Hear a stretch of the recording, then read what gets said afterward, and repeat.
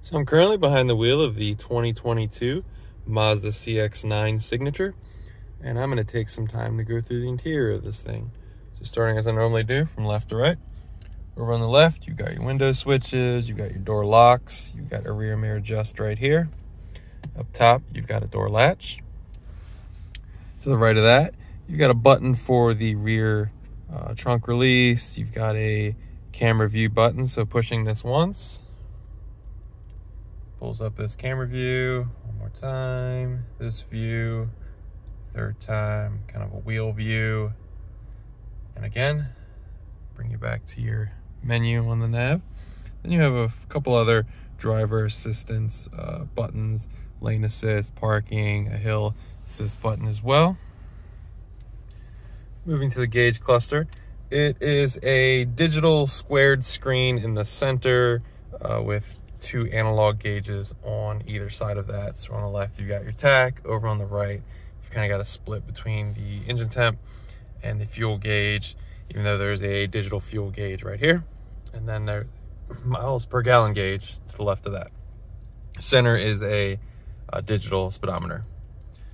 Down low showcases what gear you're in and currently to have it toggled on the sport mode, but now toggling away normal. And then back to sport. Moving back to the steering wheel, you have um, paddles on the back of the steering wheel. So down gear on the left, up gear on the right. Over on the left, you've got volume control, you got tuner knobs, you got different talk buttons down low. You have um, cruise control settings. This measures the distance of the automatic cruise control of the vehicle in front of you and mode uh, button as well as off button. Give you a better look at the steering wheel behind the steering wheel. This is where the engine start stop button is located.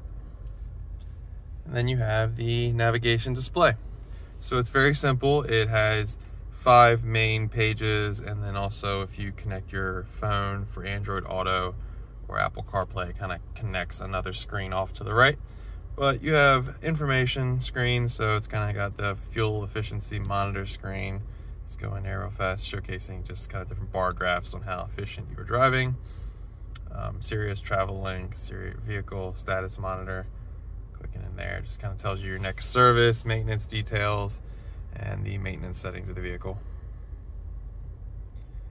Going back out, entertainment, whatever media you're listening to, communication. This is where your phone will be connected. You can access your phone book, navigation, your map, whatever route you've set.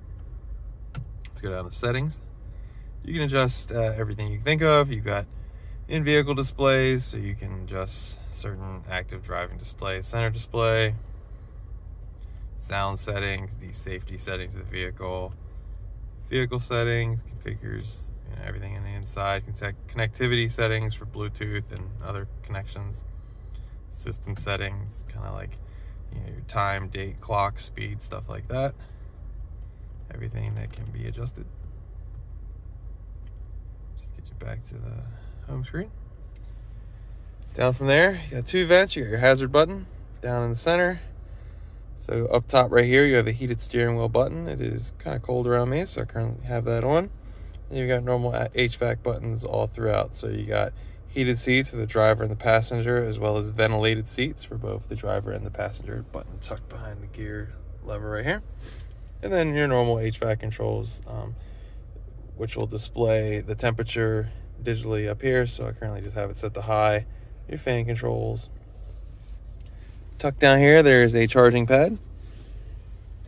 Coming back from there, you have gear levers. So you have park, reverse, neutral, and drive. And then you knock it over. You can select your gears manually on the gear lever or on those paddles on the back of the steering wheel. Right here is where you have the sport mode toggle. So um, this is where I can flick the switch, get out of sport mode or in sport mode. It's just the singular mode of the vehicle or the normal mode as well. From back from there, you have the parking brake latch. You've got the auto hold button um, for uh, holding the vehicle instead of using your left foot. I mean, your right foot on the brake. Jumping over the center, you've got a volume control knob over here, and you can also turn off the volume as well. The center here, this is the um, infotainment toggle. So it's kind of cycling through everything up here. You just turn this toggle and it also has um, different quick presets to get into certain pages such as the media, the navigation, you got a favorites, home, and a back button as well. Kind of pop you where you need to go. Back from there, you also have two cup holders. Your armrest breaks open into two different parts. Currently housing a charging cord, but there's two USB ports in here. I'm currently using one of them. Moving to the passenger side. Got your glove box. Features Bose speakers throughout the cabin. Give you a better look at the door. Seats. Same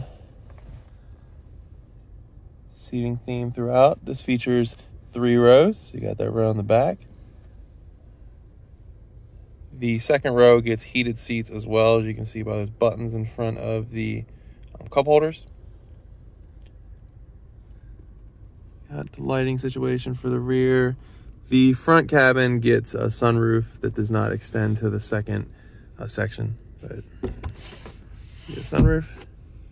Sunroof controls located up top. Lighting controls as well as sunglass holder.